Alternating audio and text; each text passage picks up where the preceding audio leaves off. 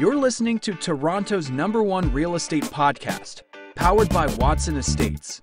The most successful local real estate investing starts right here, right now. Here's your host, broker, investor, and social media influencer, Bradley Watson.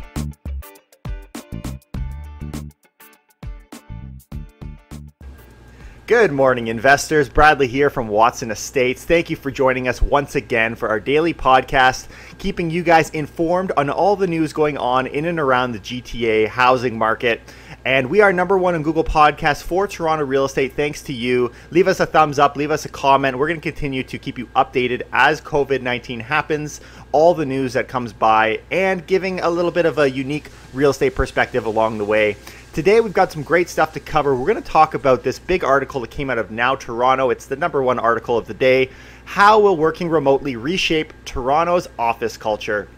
I want to talk about some of the things they have to say about how offices will change in the city and what impact that will have moving forward in the commercial space.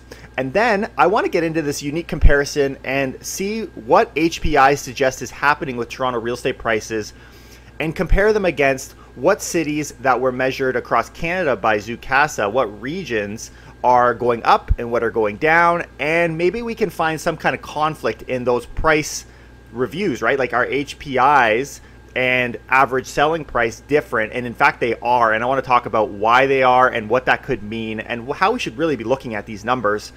And then, would leaving the city be a better investment? Some people just kind of default to, you know what, screw it. I'm out of here. I'm leaving Toronto. I'm leaving the city. There's better investments elsewhere. Well, I want to take a minute to look at those investments because maybe they are better for some people, but I still think we need to keep in mind some of the risks associated with leaving the city because there certainly are.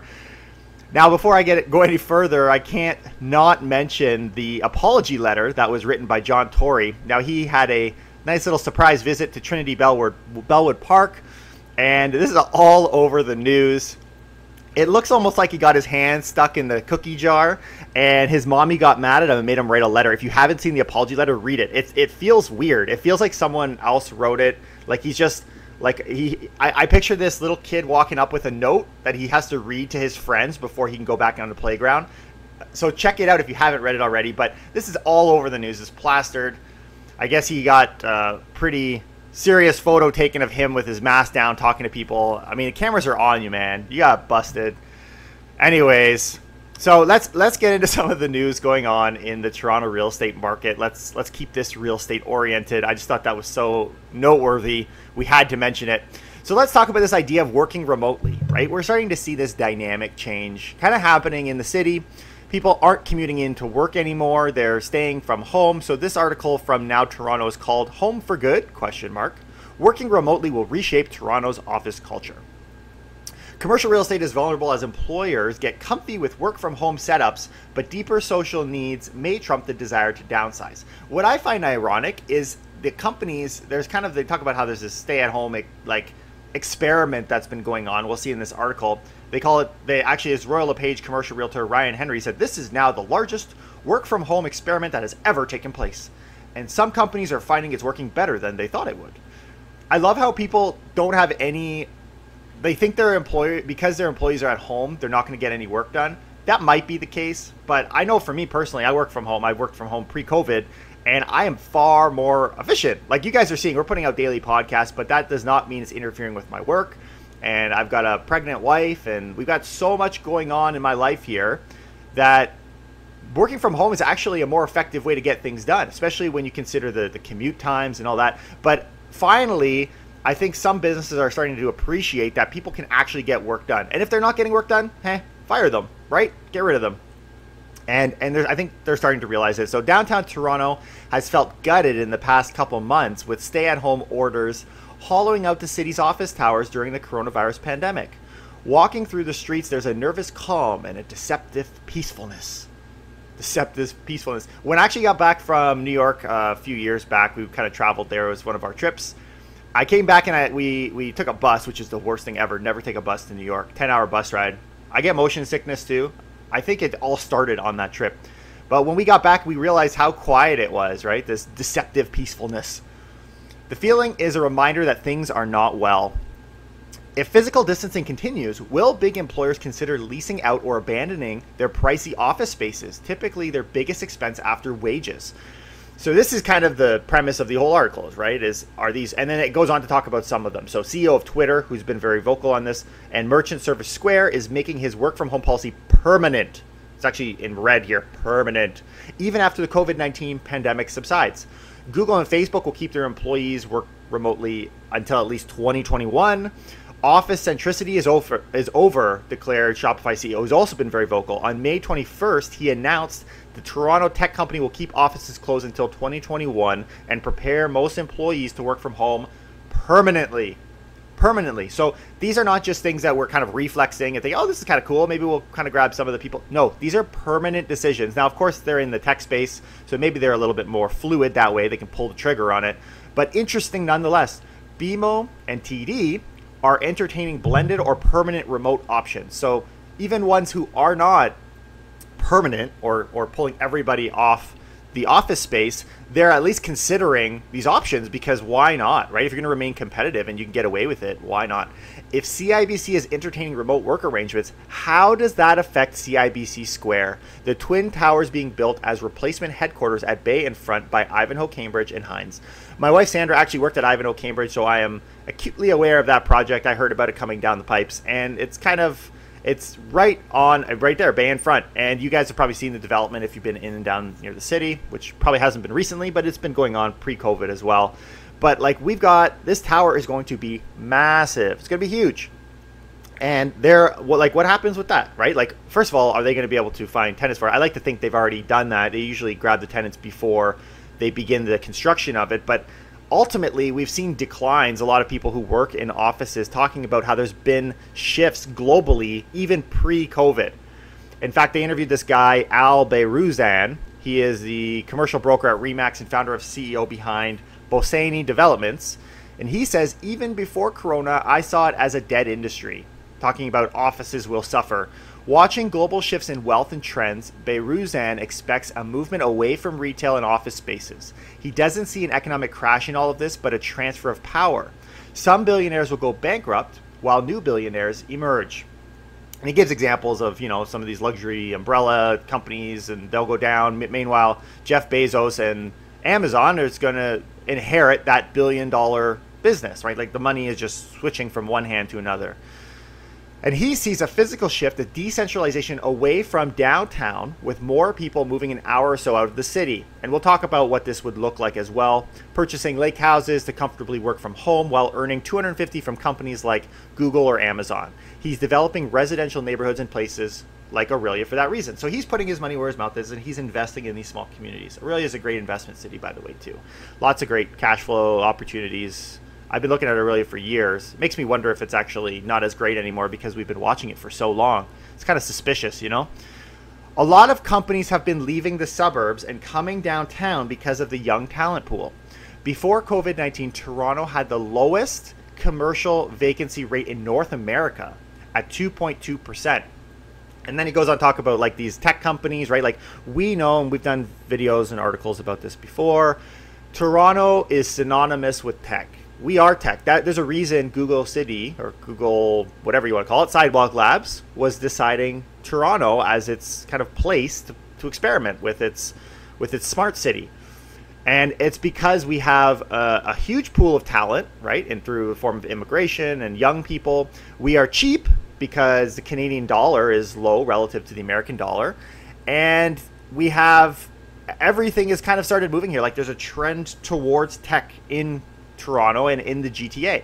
He points to Google leasing 400,000 square feet of office space on King Street. Apple moved office from Markham to Bremner Boulevard Tower that also houses Amazon. Meanwhile, Microsoft, currently located in Mississauga, is planning to move into CIBC Square. So we see all these big players in the city. And if anything, those would be the ones you want to watch, right? Because they are the most likely, from what we've seen, others do, to be able to pull pull their office space out from underneath office towers. Now, if you're like me, you don't invest in office spaces. Like I don't, I don't invest in commercial. I, I just don't touch commercial. I think residential is far more profitable. And even though you're thinking residential these days is taking a slamming, just look at the commercial space. Now, that's not to say you can't make big money. There are big players. Maybe I'm not big enough. You can make that argument as well. There's big price tags and big returns in that space, but it's also a lot slower and it's just different, right? I, I specialize in the residential side, and so do many people who listen to our podcast here. But that doesn't mean we shouldn't be paying attention to what's going on because this dynamic of whether to be in the city or outside the city should really be the decision on where we put our money to invest residentially as well. Like it follows, right? Especially when you start to see damage getting hit on things like the TTC and people not being willing to commute as far, right, in, amidst a pandemic. So then they kind of talk about this idea of reconfiguring, and they're talking about how 20 years ago, I didn't know this, a typical organization calculated that they had between 200 to 225 square feet per person in a typical office. But with the more modern office layouts, they're down to about 75 square feet per person. So if we have to radically increase the square foot per person again, then that would kind of be a bit of a reversal to something that maybe we saw before. So then there's this kind of counter argument. I don't buy it as much, I'll be honest with you, but there's a counter argument that well, we were kind of we were allowing everyone to work in these kind of community office spaces, which are the ones that are mostly staying at home now because you can't have that. So if we expand that back to what we originally had, maybe you're going to need more office space again. I think it's a weak failing argument, but that's fine. We'll look at it from both angles. You you be the judge. Then they talk about TTC and this idea that transit systems will collapse. Listen to this. If social distancing remains a reality, the people must avoid packing uncomfortably close together into subways and streetcars. Bridge feels that the transit system will collapse. So when you go to Manhattan, you're up to 85 or 90%. This is talking about things that I'm most worried about. People are going to about riding transit. Well over half the people working in downtown in Toronto are in transit, and then that's the Manhattan 85 to 90 percent. So we have a huge ridership of our public transit, which is getting completely spanked right now. And you guys know, I think it was on Saturday, we were talking about this. This is a very important article. The more I think about it, the more I'm thinking about doing this as our weekly video this idea of municipalities and how bad they're struggling. But one of the threats, kind of quote unquote threats, but it's not really a threat, it's a warning, if anything, from John Tory was this idea that TTC's budget would be slashed by 575 million, cutting its service in half if the province and federal government doesn't step up with financial aid. And they talk about here, where is this? A 5% drop in ridership would be the nail in the coffin since most transit operating budgets were already stretched thin before COVID 19. So if that's true, right? So they're talking about like significant declines in Toronto, New York, and London, these big global cities if it is true, if we were to take that as gospel, the 5% drop in ridership would be a nail in the coffin for transit. Well, call it a nail in the coffin for transit, right? Like, I can almost guarantee I would bet so much money on that. I, that that's a, almost a sure bet. A drop in ridership, at least for the next year or two, by 5%, that's nothing. So, so they are severely threatened, of course, without aid. But anyways, all of this to say, we've got this kind of dilemma happening right now in office spaces, and I think w- before we look at prices and before we look at what it means to invest outside the city, let's just appreciate that there's going to be a, a huge change in that, and whatever the decision is to do. Like if the decision is bring everybody back, we'll figure out the transit and we'll, we'll get it all sorted out. Bring them back into the city, then it will go back to how it kind of looked. But if the decision is to start working more, more remotely, then I would say that that's a bet on the outskirts of Toronto. Not to discourage investing in Toronto because I still think that that will generally outperform. But that is definitely a thumbs up to the neighboring communities across the GTA. Now I want to transition and I want to look at this idea of the HPIs. Now, there was an HPI release called the National Bank of Canada House Price Index, Teranet National Health Bank of Canada, so they call it the TNBC HPI.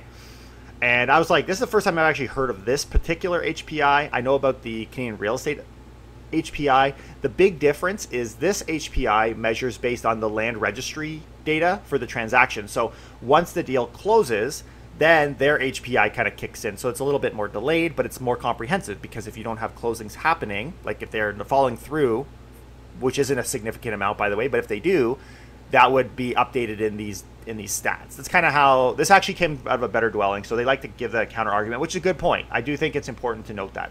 Whereas the CREA and the local boards ones that they use, They do it the moment it's entered into MLS. So it's in, in theory it comes quicker, but it's less accurate. So I, but again, the accuracy is not all that different. So, but anyways, still valuable to consider this HPI, especially when we look at the numbers. Canadian home price accelerate, but that could come to an end soon. The C11, a price index of Canada's 11 largest markets, showed a substantial movement last month. Prices increased 1.35% in April when compared to the previous month. Compared to the same month last year, prices are now 5.20 5.27 higher percent. So we are seeing an increase as, as it relates to the HPI. We'll cover what that means in a minute. NBC noted the increase for April was unusually high, being twice the average gain for the past 10 Aprils. So not only are we growing, we are doubling the average over the last year. And this is not like pre COVID. This is April. This is in April. This is during the COVID. So wait, wait a minute. So how are we seeing any reference of increases in price? Just hang on for one second. We'll get there. Six out of 11 of the cities reached new all-time highs according to the index. They warned this could change with the economy approaching a recession. So that's the disclaimer. That's the better dwelling disclaimer. Of course, things can change. That's always the case. So the index for Toronto showed the biggest gains across Canada. The index increased 1.99% in April, it's almost 2, and is up 8.19% from last year. So prices on an HPI basis are up over 8% year over year. The report adds that high unemployment levels could mean homeowners are unable to meet mortgage payments. This could spark a flood of inventory, which, in their opinion, could mean downward pressure on home prices. Okay, again, anything can happen, right? Especially with the concerns we've got going on, and we talk about those as well. Like, we know there's big risks involved right now. But let's talk a little bit before we kind of transition into the average prices, because I'm going to warn you the average prices are negative right? They're negative. In fact, they talk about, they point to these areas. I don't even know if it was in here that I just mentioned, but the article mentioned both Toronto and Ottawa as cities that were doing pretty good in the HPIs. But when we look at the average price, they're both down. In fact, they're some of the most negatively, how do you even say that? The prices are most impacted in a downwards direction by those cities. And the reason for this discrepancy is the HPI does not, it is based on housing type.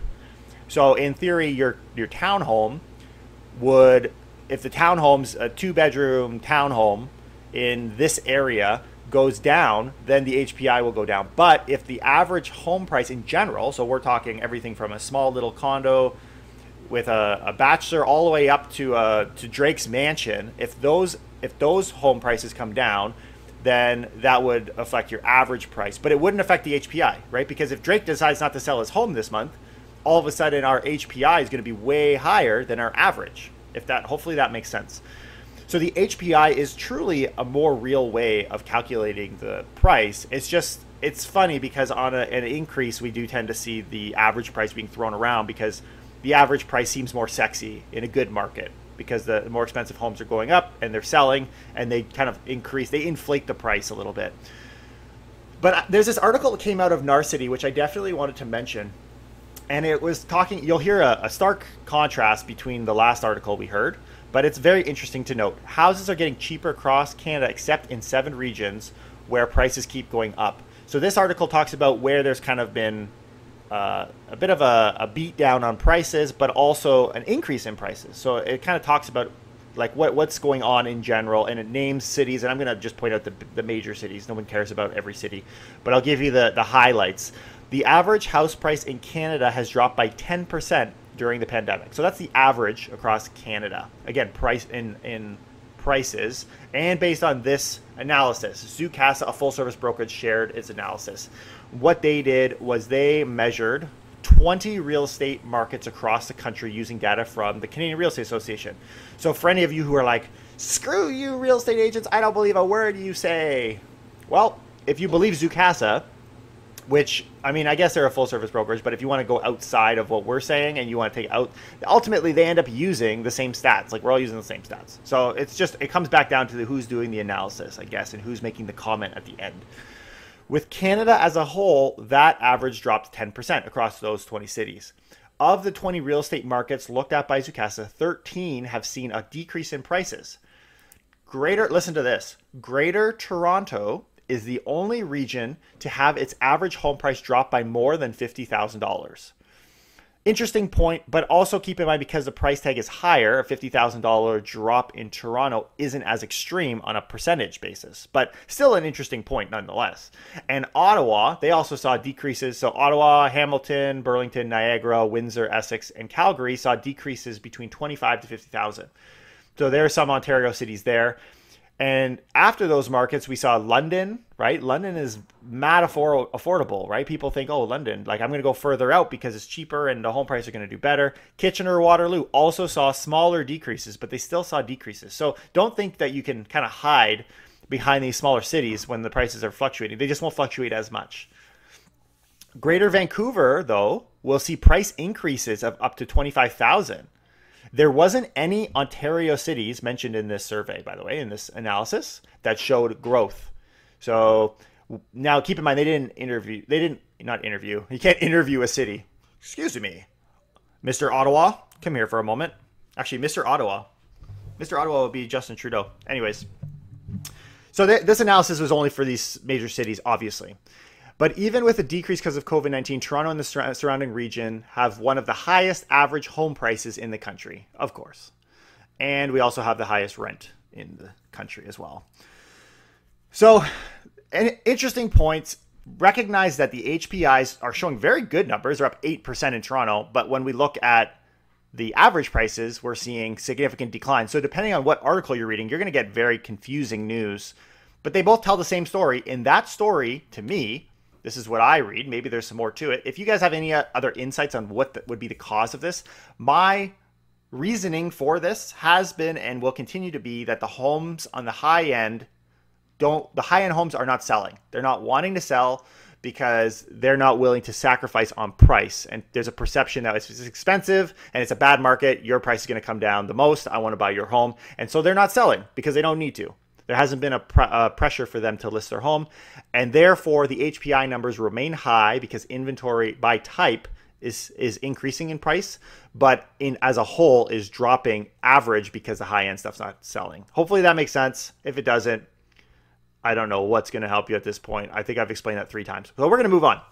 So then there becomes this conflict. We got we've got this we've got a bunch of investors that listen to our podcast, and thank you Thank you. Thank you. Hopefully, you guys are learning. Hopefully, you guys are making bank off your investments during this time, or at least in a position to make a purchase during this time. And that's not to hint my investment strategy, but our big investors are buying. So now, run out and sell, maybe not so much, but I would be encouraging people to buy right now because there is certainly a dip in the market. So let's talk about this difference between cash flow and equity, right? So, so the city, the equity in Toronto. Okay, so you just dropped fifty thousand dollars on average in Toronto. So that kind of means maybe it's not so good. Some people would think maybe Toronto's not a good investment. I would argue it's a it's a great time to buy because it's a fifty thousand dollar discount. And it sounds good to me. Imagine getting a fifty thousand dollar discount on oranges at the grocery store. People be lining up outside. Actually, they're already lining up outside. The line would just be twice as long, but equally distanced. So let's talk about what. So some of these investors might be considering, okay, well, let's go outside the city. Let's look at cash flow, right? Let's let's get a more cash flow based environment, maybe more stable. There's going to be some more renters that are able to work from home. Sounds like a good deal, right? Well, first thing we need to point out is something we've been talking about in the past. We talked about this, I think, a couple days ago as well. A lot of Toronto renters can't get by even with the CERB. They need to top up from the feds. So this idea of the CERB for a single person is not enough, sufficient for the average rental in Toronto. But I would argue, even if you go just outside of Toronto into the GTA, those rentals are still expensive, and 2000 does not go far enough. Like the CERB is not necessarily designed to to match for a single person rent. It's just not equipped to do that. And so this is where it kind of comes to this feud between landlords and tenants. But I digress. Let's move over here because there's some people would look at a place like London. We saw that London had that one of the lower price declines. And so they had an article that was published by the London Free Press. And I think it's important that we hear the news that's coming out of those smaller cities as well, because I think we just assume that things are significantly better there. But that would be a false assumption. Listen to this London post secondary schools' pandemic driven plans to mix online and in person learning this fall are creating uncertainty in the student rental housing market, landlords say. The pandemic saw average rent in London tumble 11.3% in April, the first drop in years, according to national rental adver- advertising and tracking website rentals.ca. in Toronto, we've seen decreases in rent by single digits, whereas in London, they're seeing rents dropping by double digits. Now, granted, this is the first time in years, but you could make that same argument in Toronto. Like, we haven't seen prices coming down, rentals coming down in price in years. Like, this is across the board. So, the, the places that on paper would seem like better cash flow investments are actually taking a bigger hit as far as rent goes. Now, of course, there's still more there's still more money there in cash flow. Don't get me wrong, but don't feel like because you're running outside the city, all of a sudden the the the grass is greener. It's not true. That hesitation reflects students not knowing whether it's worth it for them to move to London for school. They're more concerned about, hey, if my program goes fully online, maybe I do not need to be here anymore come September, right? If you can, which is funny because I feel like people go to London because they want that university experience, get away from their parents, but now they're like, hey, maybe I can save on residence. Anyways, that's a that's a blanket statement. Everyone has their own motives, but nevertheless, what percentage of them what percentage of that won't be coming back? We don't know. They say there are 50,000 students come to London in a typical year. So these cities, especially, I mean, based on this article, the ones that that need housing for students, they are struggling. And I would assume that that would be the case. We saw Kitchener Waterloo decreasing in price too. I would assume it's the same there. Like any place where you would expect an influx of students that are not going to come this September, I'll bet you there's a bunch that won't. A lot of them won't be in resident as well. So you can argue because they're non residents, maybe there's some more rentals. But again, I think that's a weak argument next to the overall amount of students that won't be on campus. He expects average rent to continue to slip in the next few months before settling into more balanced growth in the second half of 2020. Sounds very much like Toronto, guys. Sounds very much like Toronto. So if there's one thing, actually, if there's two things that I've learned today, just reading through some of this news, and hopefully you've learned it as well, it's number one, the pandemic is widespreading in the real estate market. You can't hide from it by running outside the city. In fact, I would argue perhaps the city is your best investment because prices are down so much. And I wouldn't say to be selling right now. Some people think, oh, you're a realtor, so you're buying, you're selling, you get all the money from the commission. So don't even, even if you're not using me, these are the things that you guys should be keeping in mind. I'm I'm trying to educate you guys. I'm not telling you to run out and sell right now. I don't think people should be selling right now. I think prices are going to go up. I think that bidding wars are going to continue. I think the buy, the time to sell is coming soon, but I definitely think that the time to buy is fading, if not already faded. It is it is a very good time to purchase properties that are heavily discounted. And the second thing that I'm learning today is to avoid Trinity Bellwood Park because I don't want my mama getting pissed at me making me write letters. I'll see you guys tomorrow, bright and early, with some more. I hope you guys had a great time with us, and I look forward to sharing more. We are number one on Google Podcasts for Toronto real estate. Take care and keep it real.